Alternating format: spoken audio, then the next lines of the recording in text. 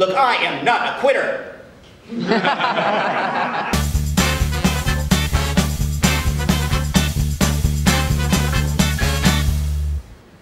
Oh,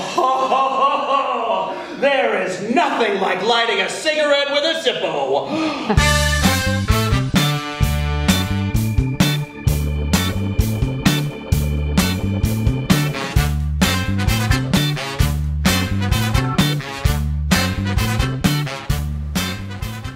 Something so tiny have such a hold on me?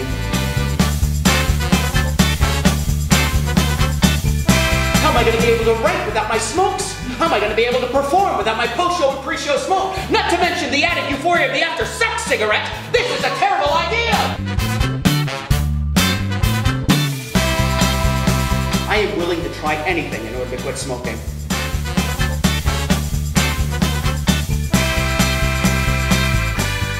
Can't take my eyes off it.